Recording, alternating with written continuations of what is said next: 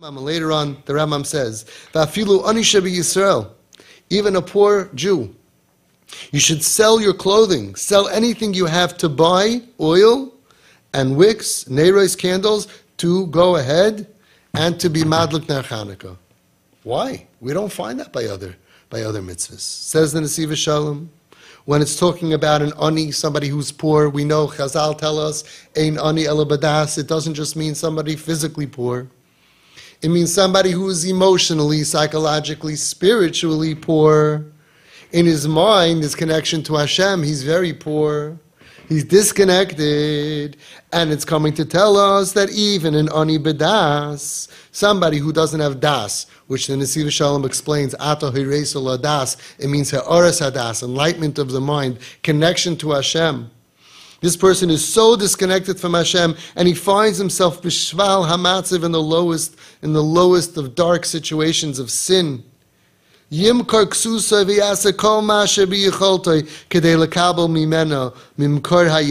ner He's telling you, sell everything. This is your hope. You're drowning in an ocean, and there's a big, big boat somewhere. Doesn't help you. It's so far away. I'm drowning.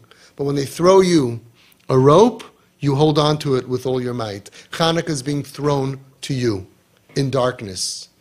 You feel disconnected. I can't connect to Hashem through davening, through learning. I don't feel it through mitzvahs. I don't feel it. But inside, you have something inside of you. You want it. You want to. You want to be on that boat of all the from people and all the happy people and all the people getting close to Hashem. You wish you could have that. Hanukkah is being thrown to you.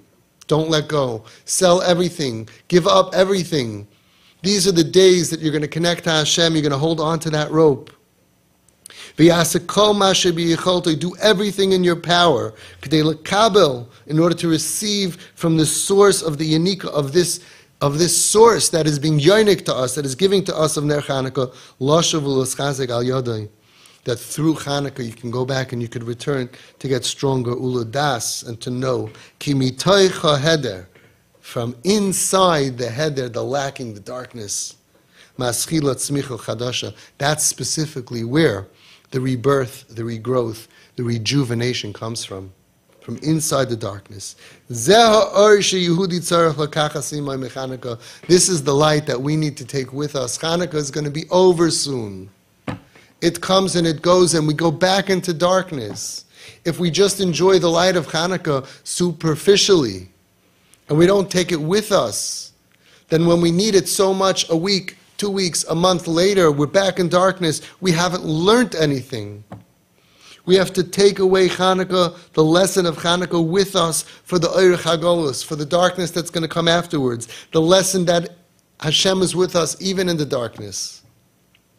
The lesson that never give up on ourselves or anyone else. There's always a kusa de kernel of life the black box that never gets destroyed, the Pachshem and Tahar, Choisamay Shel Kohen Gadol Shel HaKadosh Baruch Hu. Like the Maimer Balbeis Avram says, Chanukah is Miloshan of Chinuch. Chanukah is a Lashon of Chinuch of education, to educate the Ketanim and to educate the Gedolim, to educate the young and the old. Oir Chanukah Mesugulis Chachus. We need to know and educate ourselves and educate everyone. Parsume Nisa that the Ur of Hanukkah, the light of Hanukkah, is a light, is Mesugel, is prepared, prepared, special, specifically prepared for us at the time of Eschachas of renewal. Kibizman hazem iskala ha'ur, shahoir bayom mohem, umisur mechadosh, koyach pach Hashemen. Because these are the days that gets reawakened, the story, where the revelation happened that the, the light in those days, a long time ago, when it was so dark, there was a revelation of light that lit them up. It's the same thing. We're getting a little bit of that light, that mitzvah of lighting, that finding, the not the mitzvah, the nace, the miracle of revealing and finding that oil in the darkness, in the destruction.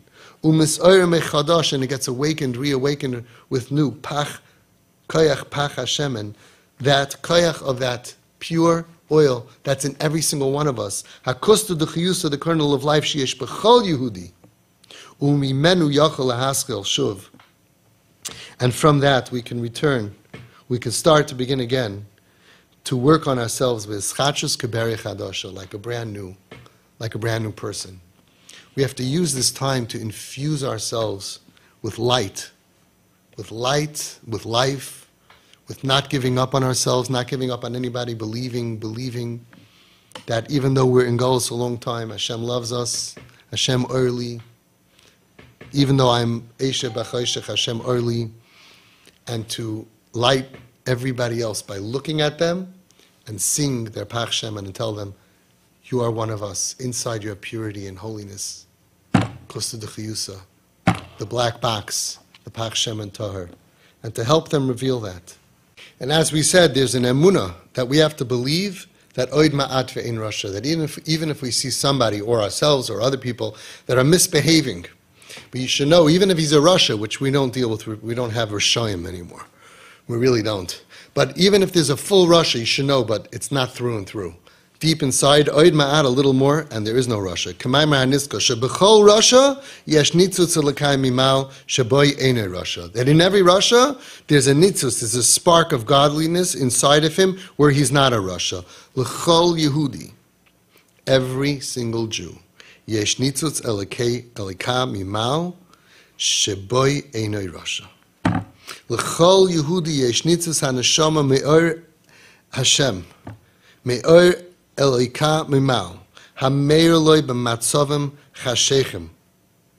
Bekasher nidma shu kvar ovod ve'en loy takuma, misoyer hanitzus hazeh lahoyer loy.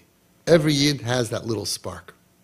And when things get so dark that you feel you feel so lost, you can tune into that, listen to what's going on inside, and it will lead you.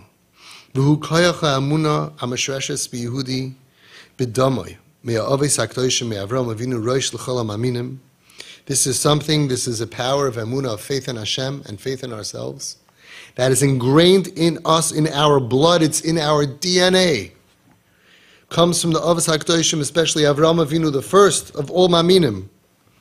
Bechina, Bechinas Pach Hashemen, a Maskala, Lahatzel Yehudi Be'es Mitzuka, Ulahoyer Lei B'Matzavim Yehudim Meshvelim just like a little pach shemen, that you can make a little spark, a little light. Everyone, every one of us, Ner Hashem Nishmas Adam, we have a little flashlight. When it's very, very dark and we're very confused and we're very, very lost, we have a power of, of focusing internally and finding that, that little light inside of us that can light up the way out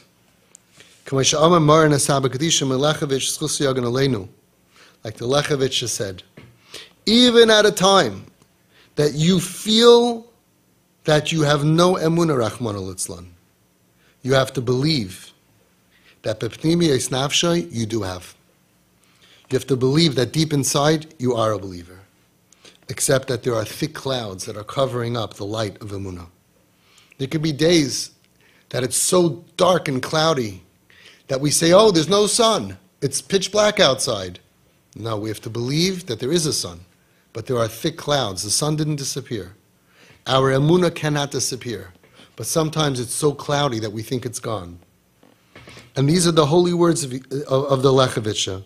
Gam sheyehudi einoi margish klalas rachman Even at a moment that the Yid, a Jew, does not feel any faith in God, God forbid, he doesn't feel like, thank God I'm an atheist. You know that t shirt? Thank God I'm an atheist.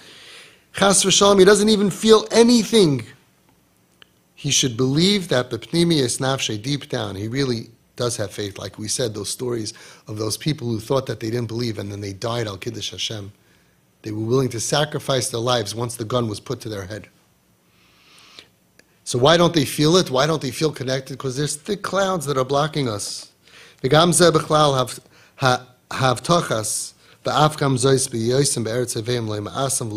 La'chaloisam.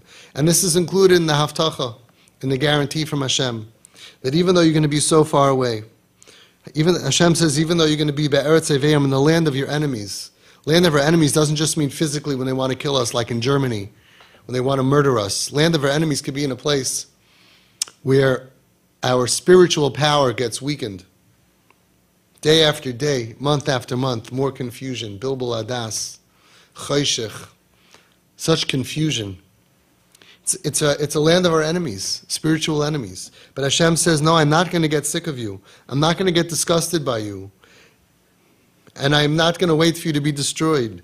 Shakadosh Baruch Hu nota Yehudi because Hashem implanted in every Jew pach shemen, a jug of oil, shel emuna of faith, that stands for you to save you, even in the land of your enemies. Sometimes it's so hard. We get so confused. So many ideas that come from the Goyim come and take over the Jewish mind. We need a lot of Siyata Deshmaya. And part of that is believing in ourselves and in our families and in every single Jew that regardless of the exterior behavior, regardless of all the schmutz and the darkness and the cloudiness, every single one has a pure kusta de a pach echod shemen toher. And that's how we could save them. We don't need to make them holy. They are holy. We just need to help them reveal their internal holiness that they have as being a chelik of the kamimal.